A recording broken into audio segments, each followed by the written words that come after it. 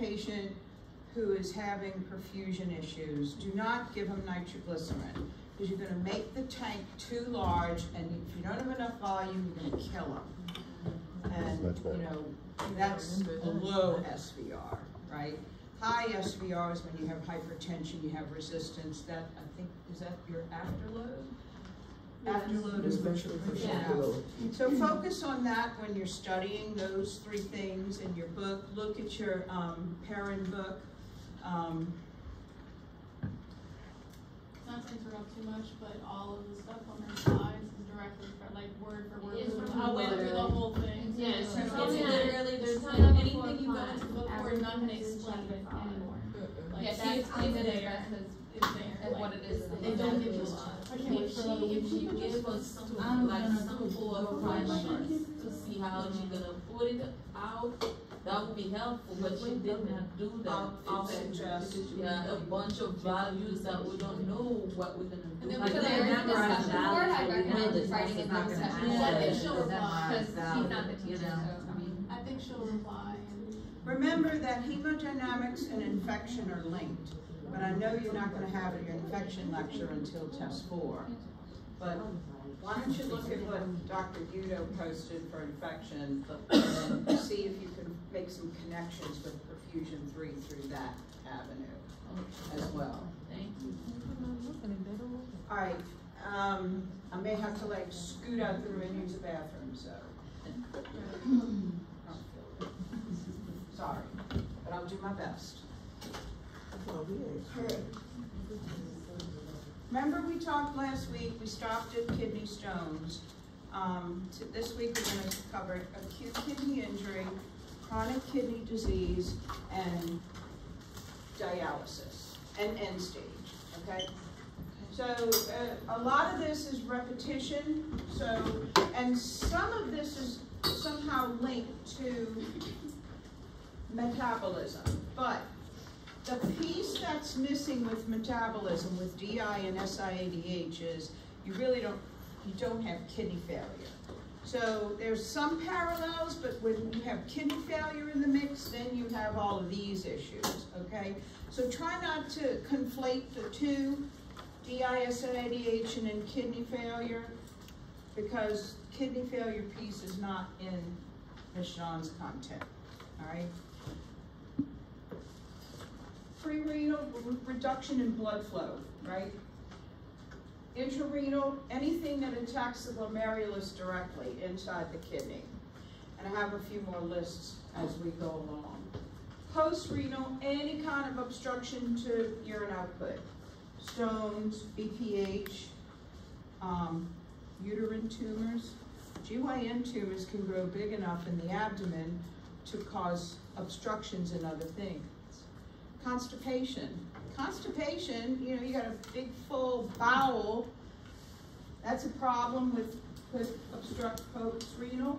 It could also obstruct a peritoneal dialysis catheter, and we'll talk about that. Diagnostics, all the UA, ultrasound, MRI, maybe a kidney biopsy if it's within the um, intrarenal. Prognosis, remember, acute kidney injury patients recover from. Chronic kidney disease is a progressive decline. The oliguric phase of acute kidney injury mimics chronic kidney disease, and I'll go over that a couple of times. But then patients get better. Usually AKI only lasts maybe a few days, up to a week. It could last a lot longer if the patient's debilitated, if the patient has other comorbidities going on. And AKI could turn into chronic kidney disease, but the likelihood of that depends on the patient. It's less likely, okay?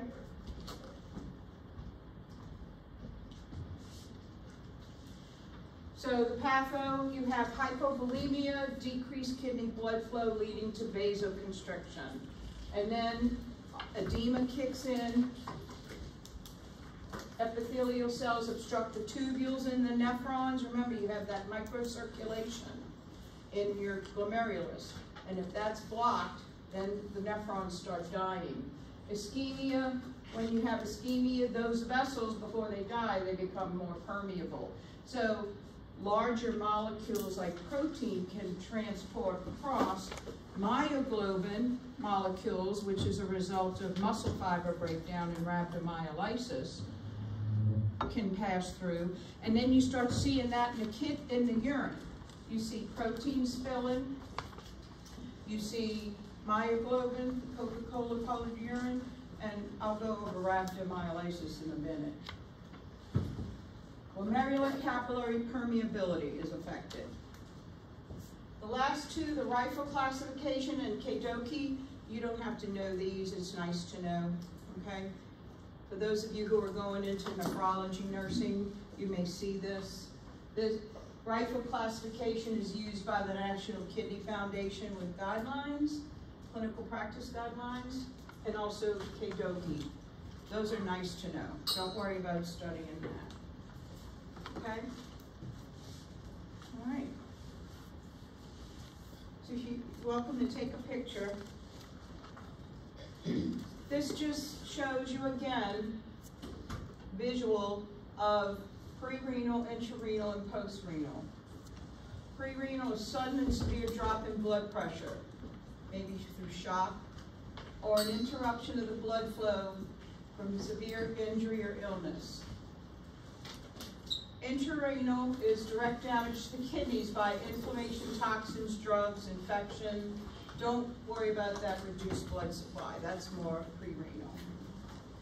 And then post-renal is an obstruction of urine flow due to an enlarged prostate, bladder problems, a blocked ureter leading to hydronephrosis, bladder tumor, GYN tumors, etc. Okay? All right, so let's go over some more specific conditions. So as you're studying, look at these um, pathophysiology disease processes.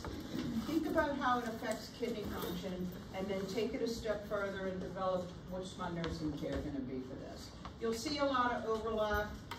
I think when I went through acid base, you know, one of, there's a lot of overlap between acid base disturbances similar to acute kidney injury. So hypovolemia, shock, reduced blood flow to kidneys.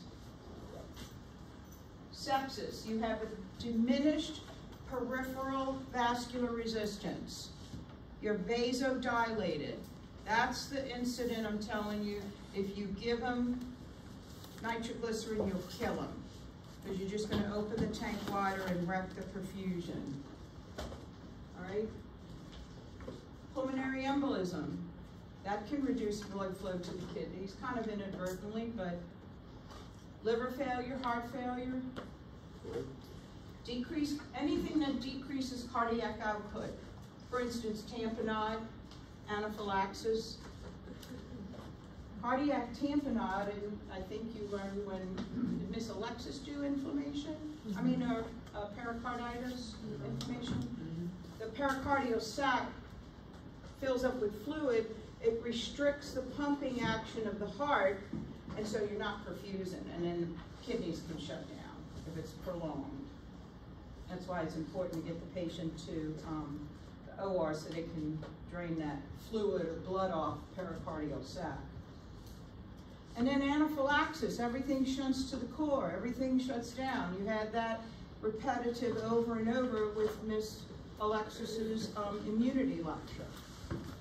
All of these affecting vasculature, compromising vasculature perfusion leads to pre-renal acute kidney injury. Intrarenal drugs, God bless you, drugs and nephrotoxins. I'll go over this. I have another slide with specifics about some me of medications. Acute glomerulonephritis, beta hemolytic strep. You see that a lot in peds. Um, what are you gonna do for that patient? Antibiotics. Yeah, antibiotics, you have to stop the inflammatory process. Strep, I think, if I remember correctly, strep responds to uh, penicillins and cephalosporins, I could be wrong. But go with whatever your doctor orders. Autoimmune disorders, I talked about this last week. Um, lupus, rheumatoid arthritis, any, uh, sarcoidosis, any autoimmune disease that affects the glomerula, glomeruli. Tubule crystal formation, we talked about this last week too. What's the disease you see with that? Gout, right? Uric acid buildup leading to crystals. Other things, tubule crystal, tubule crystal formation. Think about your medication compatibility. If you infuse two meds that are incompatible, you get crystals. Can go in the brain, can go in the kidney. So please check your compatibility with your IV medications and IV fluids.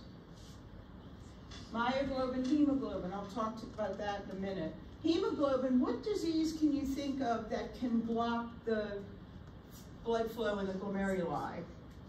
Sickle cell. Sickle cell, thank you. Gold star. Mm-hmm. We still see it at university on telemetry. What, what do you, what do you do for a patient with sickle cell crisis? Pain, fluids, ambulation. What did you say? Those things, Those oxygen. Uh, O2, yeah, because the cells are sickled, the heme is compromised. O2, very sick patients. Myoglobin, myoglobin is muscle cell breakdown leading to very large molecules. And when they're trying to perfuse, they can't get through the glomerular vessels until the glomeruli start, the glomeruli start failing, and then the big molecules start passing. That's when you see Coca-Cola colored urine. I have a picture of it. Mm-hmm.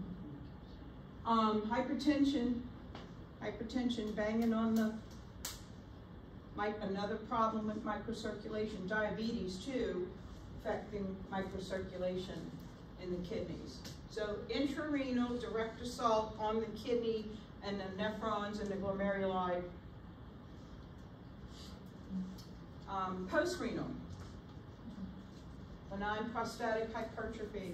You wonder why your little grandpas, little, little, little daddies go to the bathroom two, every two hours, three hours, it's prostate.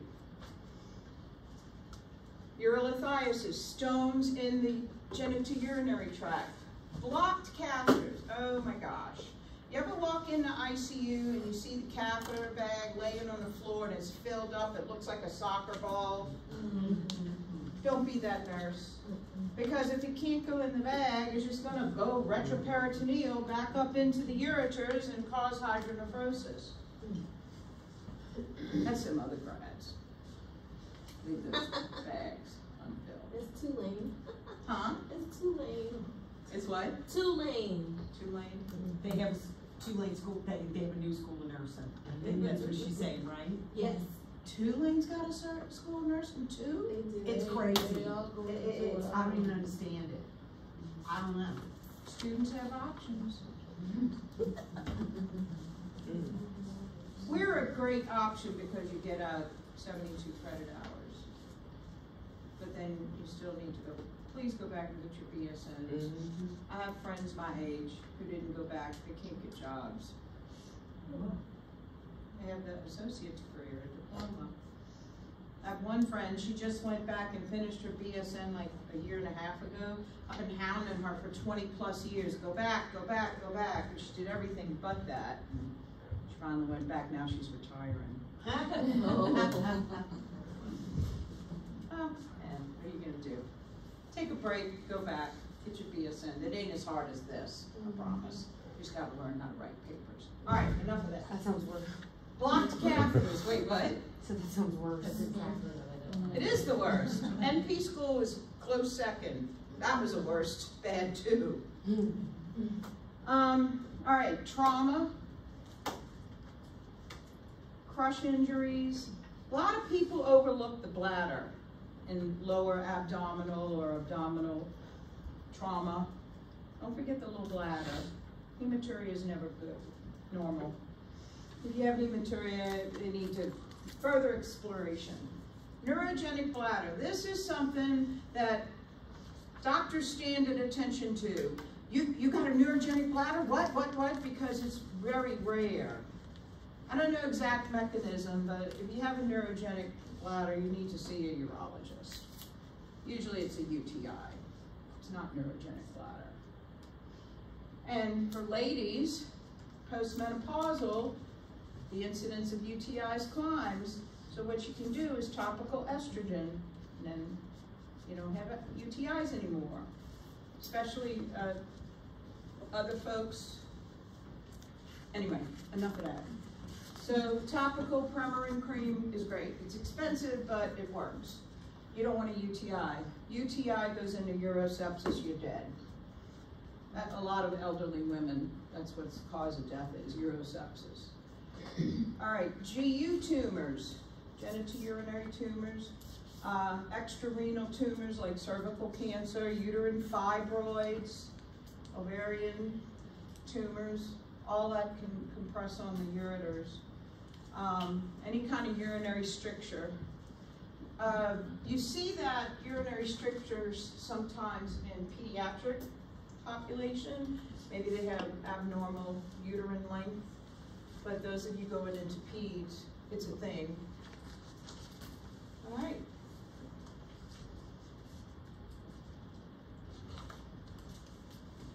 And the nephrotoxic drugs. Excuse me.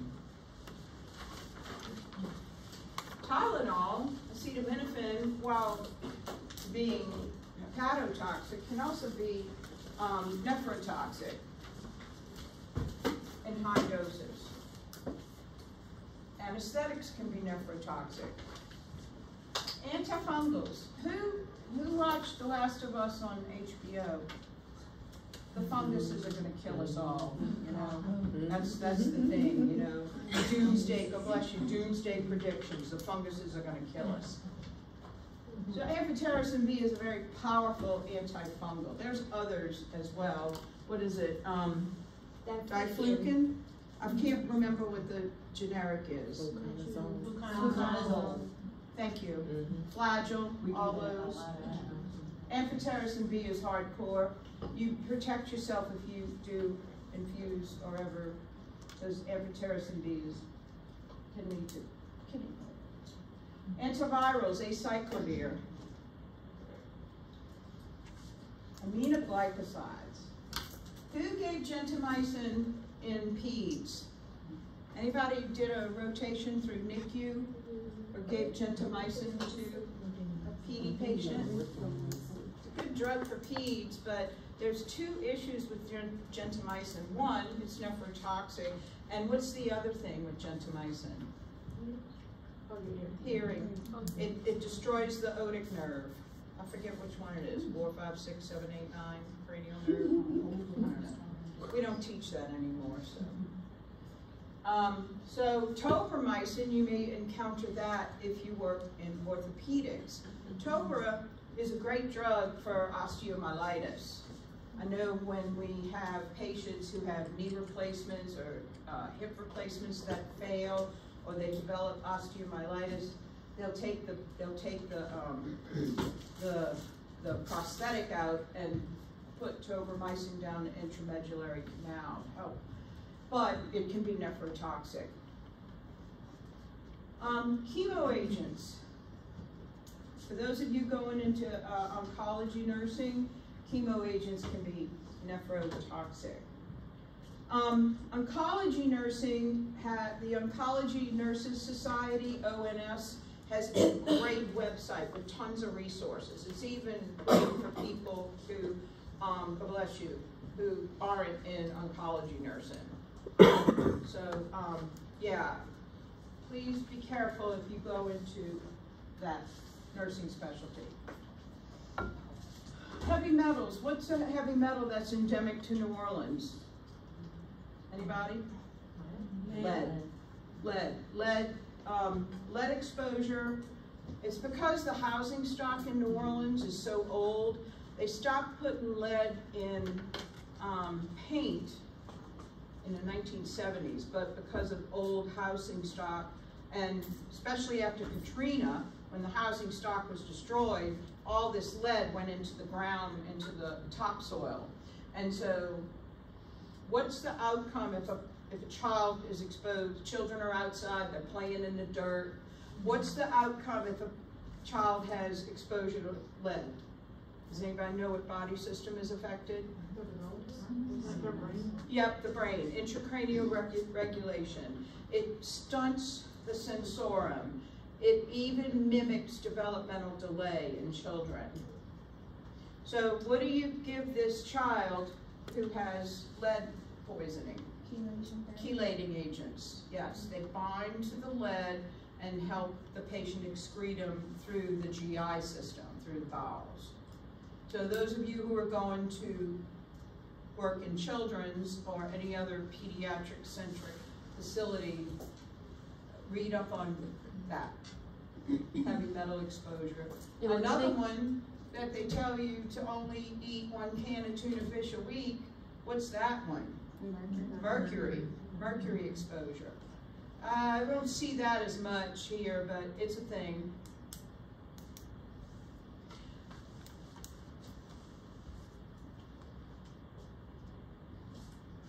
IV contrast dye. What's the allergies? Iodine. Shellfish and iodine. It's weight dependent. An average size adult can get two hundred cc vials, that's it. What happens after, if you go work in a eva- interventional radiology or invasive lab and you're pushing a lot of contrast dye?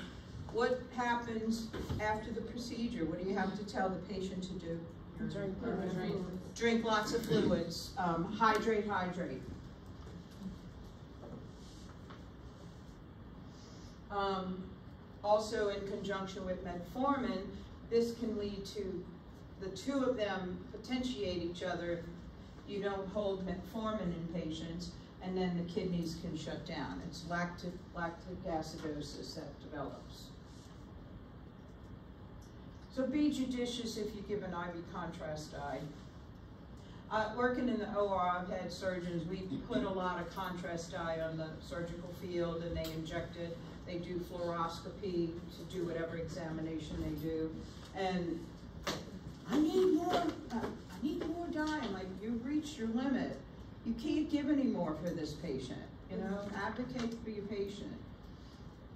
I'd rather have a mad surgeon than a sick patient, you know? Lithium. Lithium is a great drug for bipolar, but they don't give it, use it as much because of the narrow therapeutic window. Let me see, I can't remember what it is. It's zero point six to one point two is the, is the therapeutic window for lithium levels, okay? Um, if it's too much, that can go into, uh, nephrotoxicity. There's other meds, I don't know, I'm not a psych nurse, I'm not up on current meds, but there's other meds that have replaced lithium. But lithium is a really good drug, but you just have to be mindful, for those of you going in the site, you have to watch the levels. What were the levels again? Zero point six. Zero point six to one point two. I'm not testing you on that, that's a nice to know.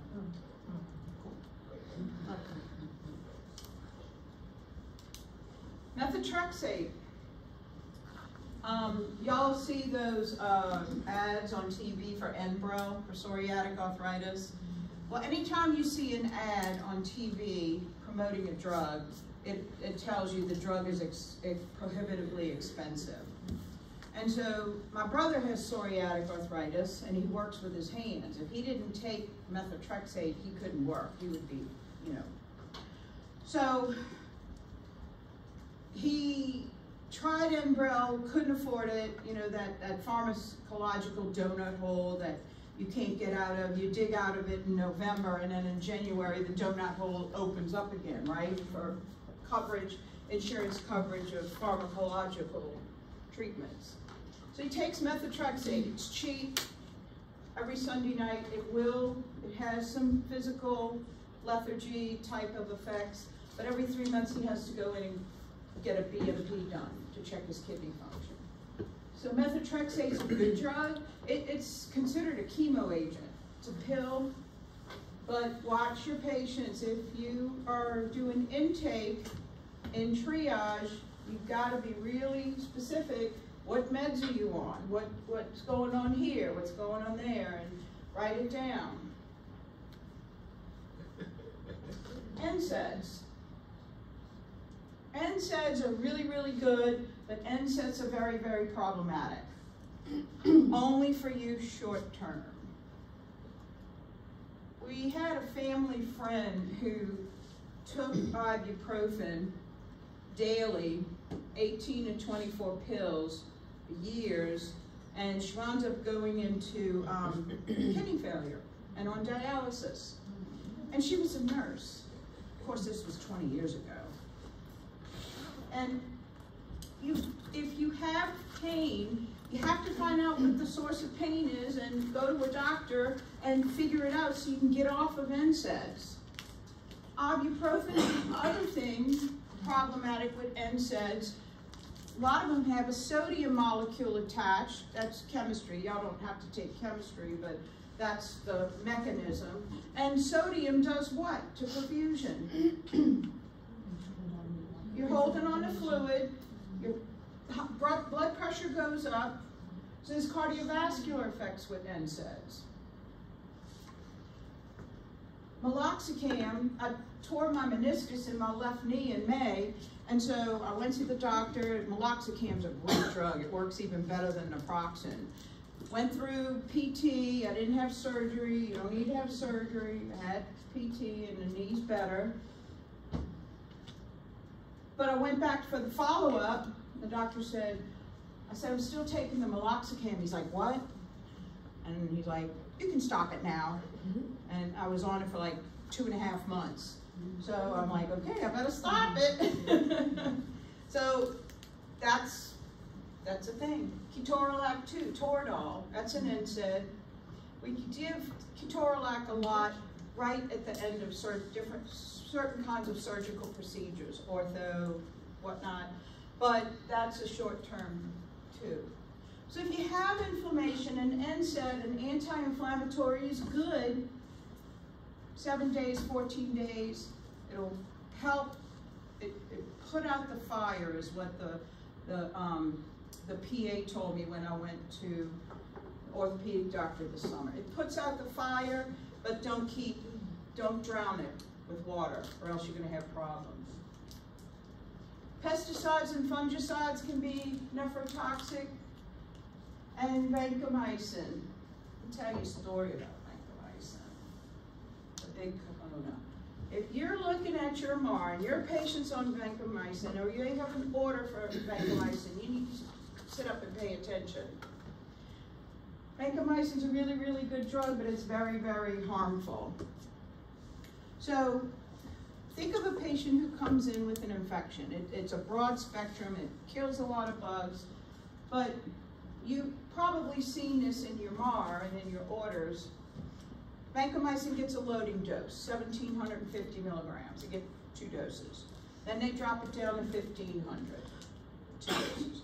God bless you. Then they drop it down to 1,250. Then down to 1,000.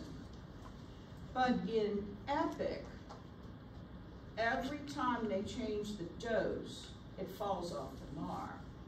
So you may have a three-day weekend and you come in and you give it a thousand milligrams, but then on the, you check your kidney function, your creatinine's climbing, your GFR is dropping, what's going on? Look at the chart, what is, could be causing this? You can go back, you have to scroll back day to day and look for the completed meds, look for the discontinued dosages. And what you think might be the second dose of a thousand milligram vancomycin is actually the sixth dose, and nobody caught it. It's a glitch in EPIC, and when you start nursing, find out what your glitches are, where, where you have stuff that you have to pay particular attention to. So you send in a trough, so, oh God, when did we do a trough? Okay, today's the 20th, last time we did a trough was the 15th of October, we better send a trough in. And you send it in and the trough is twenty-eight, you gonna hang that bank? Mm-hmm. Don't be that nurse that kills those kidneys. There's other stuff that goes on with vancomycin. Anybody see a patient who's had red man syndrome? Mm-hmm. It's gnarly. It's like an overall body rash. Elevated rash, pinpoint. Are you gonna continue giving the vanc? No. Call the doc, we need to find something else. The most dire emergency, I mean, kidney failure is pretty significant, is, um, but the worst one is Stevens-Johnson syndrome. Have y'all seen that? That is the epidermis completely detaches from the body and sloughs off. It's like a, a second degree burn. All over the body. There's varying fate, you know, extremes of it, but I saw an, extreme one time. This young woman, she was thirty-five years old, total body skin slough. It was horrible. We couldn't treat her. They had to ship her to Houston. And I don't even know if she survived. She, she was young, she was thirty-five, she was hanging in there, but, you know, you lose all that protection when you lose your dermis. So vancomycin's hardcore. They, I'm sure they get a bunch of black box warnings, yes. Uh, what dose do you get the trough norm, like if they're just starting today? It depends on what the doctor orders, it could be weight dependent. They could order, I, I, the most I've seen is 1750, 1750 milligrams of vanc. It's usually in a five hundred cc bag, excuse me. Um, I've seen fifteen hundred, I've seen a thousand. It just depends, but if you have a question, look back and go back in your MAR. It takes time, but, does that answer your question? No. So, No, tell me, I, I misunderstood you. I'm just saying like, uh, say they start the vein today. I know they do the trough before they start it, but like, I don't or think they do it what They do dose it do thirty they? minutes, you're supposed to draw it thirty minutes Before they administrate. thirty minutes before they give the vanc. You draw the trough. Yeah. Are you asking what the normal trough is? Like No, the, like how often they're Usually? Every, every, fourth before every dose. fourth dose. Okay, that was what I, yeah. Sorry. Um, the range is ten to twenty, the therapeutic range. Okay, but yeah, I don't know, do they do a trough before you start the vanc? I wouldn't think so, because the patient is, is not used to getting vancomycin, it's after the fourth dose. So, if you have a resident, because it's July fourth and the residents are clueless, you call them up and say, hey, I think you need to put in an order for trough on this patient. That's being an advocate. Doctors. Mm-hmm. They probably do the same with nurses. All right, rhabdomyolysis, Coca-Cola colored urine. This is breakdown of muscle cells into myoglobin, which are big stonking molecules that will spill into the urine when the kidneys shut down, same as protein. So muscle cell breakdown, what- what would cause that? Overexertion. So what are some examples of overexertion? Too much exercise. What's that? Works in school. A lot of exercise. Think gym enthusiasts. What else? Immobility. Immobility could, like if an elderly person gets a fall, right? Um, So what could it be like something at work, like if a welder or some shipyard guy? Roofers, Mm-hmm. Firefighters out west, they're in all that gear and really have to stay hydrated. Gym enthusiasts, military, August, they're packing on forty pound packs and doing twenty mile runs. Drug abusers, they don't wanna hydrate, they don't wanna eat, so they forget to eat, they forget to drink, and they show up in rhabdo. Elderly, they fall,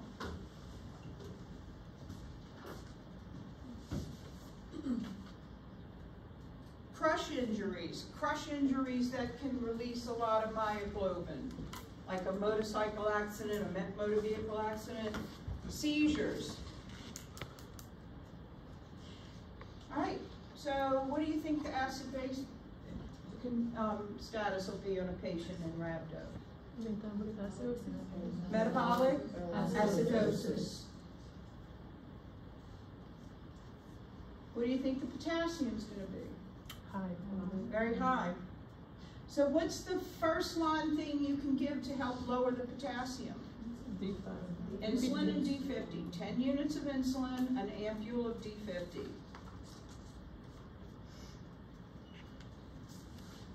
What else you gonna give them? How are you gonna flush this out? Fluids, Fluids, lots of fluids. lots of fluids, two hundred cc's an hour, five bags a day. Two hundred and fifty cc's an hour, six bags a day. Flush it out. If their acidosis is bad enough, what else can you give them? An ample what? Bicarb. Icar, right?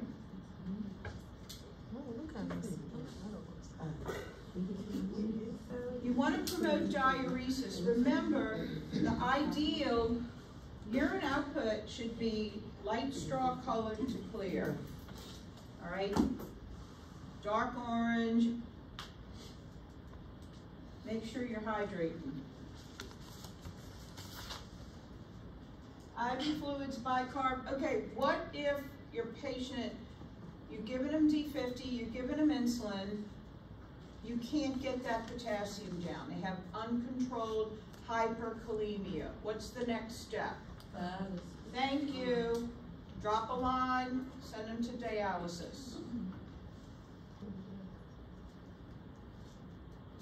Triple lumen, or uh, trialysis catheter, or a dual lumen catheter. They're usually very big catheters, and usually they're white. You can tell, yes. At what point would you do that? Like, how long would you give the fluids time to work before you do that? I don't know. I would say maybe twenty-four hours. Okay, Maybe, you know, if you start seeing cardiac changes on, the on the EKG, you know, probably sooner than later. maybe, yeah, Okay. definitely. It's not something you would wait three days, four days for. It's within, I would say, twenty-four hours. I don't know precisely, and that would be the doctor's call. Mhm. But if you're doing serial BMPs and your K is still stuck at six point five after the third one, Mhm. and you've given two rounds of D fifty and insulin, it's like, okay, switch it up something's some. going on here, we need to. So where do you think this patient's gonna be? You think this patient's gonna be on the floor? They need one-to-one, one-to-two Mhm. attention in a, in a critical care unit, or the ED. But ED is, uh, yes ma'am, And dialysis comes to us in the portable CCU. dialysis. Oh, yeah, nice. that, like, they're there every day. You see them every day. Um, they do have portable hemodialysis machines. I know at UMC, inpatient dialysis is on the second floor by, um, the ED, so. All right, any other questions about rhabdo?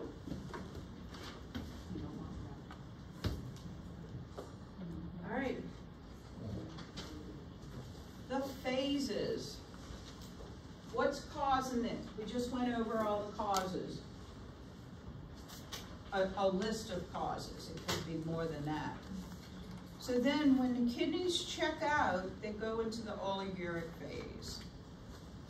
The oliguric phase lab markers are equivalent to what you see in chronic kidney disease. All right?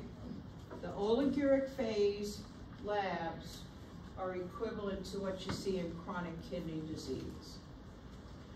But after the patient is treated for whatever's causing it, the patients will start recovering and the lab markers will normalize again. That's the difference with AKI and chronic kidney disease. All right? Therefore, oliguria, chronic kidney disease, what do you expect to be elevated? Potassium. What's that? Potassium. Say that again? Potassium, what else? Creatinine. BUN, what else? Creatinine. Creatinine, one more. Oh, G. The Wait, phosphorus. Phosphorus. Phosphorus. What would you expect to be low? Uh, GFR. GFR. Well, yeah, GFR, okay, Calcium. GFR. What else? Sodium. Sodium, what else? Calcium. Potassium. No, not potassium. Calcium. Calcium, I'm sorry, I didn't hear you. Calcium. What do the kidneys produce that help with Oh. heme? Um, hemoglobin. Erythropoietin, so the H and H will be low. The glycol. Bicarb will be low because kidneys produce bicarb. And if the kidneys are impaired, they won't be able to produce it, hence metabolic acidosis. And then in the urine, what are you gonna see spilling in the urine? Protein. Proteinuria, all right? Those labs are equivalent to CKD, and I'll repeat them again when we get to CKD. All right, the other issue with the oliguric phase, intake does not match output. Say they take in two liters, two thousand mils, and they only have about three fifty output. That's oliguria, all right? You have a mismatch in I and O, okay? Make sure to pay attention to your I and O, especially your patients with kidney disease.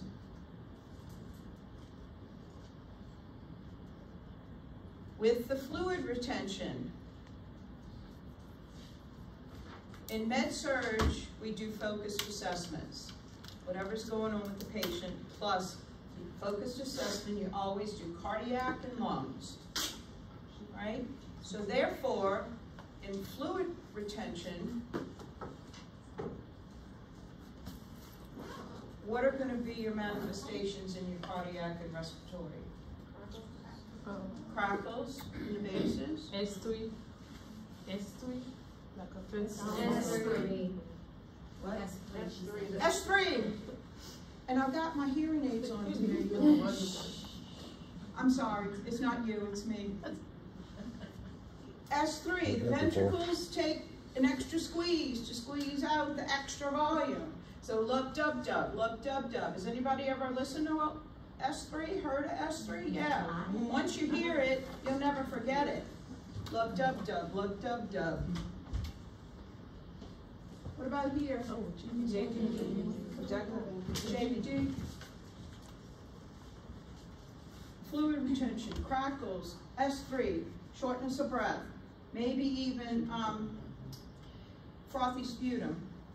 So, you've corrected the problem that's causing this.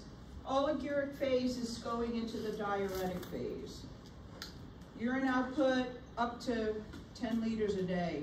You have rapid fluid loss, so what is your main concern with the diuretic stage? Wait. Hypovolemia, what is that gonna, how is that gonna affect your blood pressure? It's gonna drop it. What's your blood heart rate gonna go? Up, okay?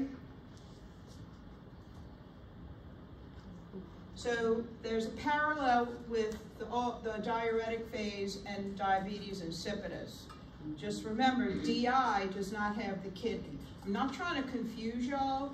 There's a lot of parallels between elimination kidney disease and um, metabolism, SIADH and DI.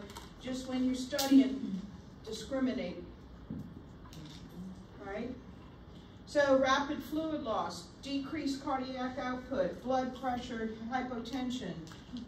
But the problem is the patient's not fully recovered kidney function because they still can't concentrate urine. They're just peeing out water.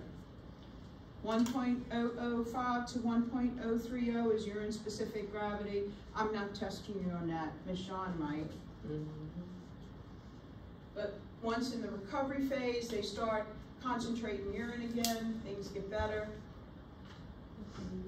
All is well. You don't have a number that approximately they could be The what? urinating, like how much they could be approximately urinating? How much depends on whatever the patient has, depends on the size of the patient. Um, maybe look at your pre, maybe look at your oliguric intake and output, and then once they get to diuretic, you know, little old lady is gonna put out a lot less than biker dude, you know? depends Yeah, on the patient. so, yeah, there's no one, what, no one parameter to pigeonhole them in, so.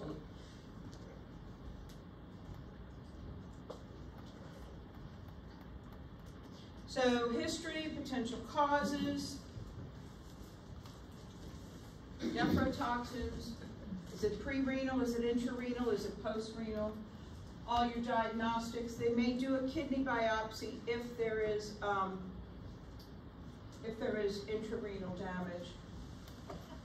GFR, BUN, creatinine, potassium, um, nursing management, drug therapy, nutrition. Okay, so if the patient's in the oliguric phase, what type of intake for nutrition do you expect them to be eating? What are they gonna limit? Protein. Protein. Two to three ounces at a meal, it's just enough to fit in the palm of your hand. What else are you gonna restrict? Phosphorus. Oh, sodium.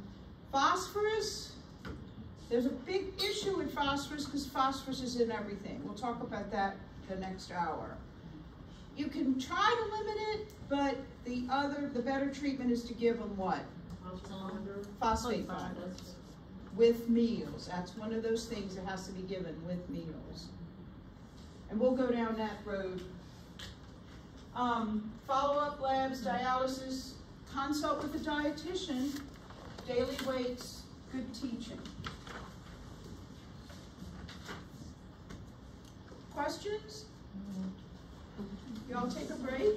ちょっと見よう。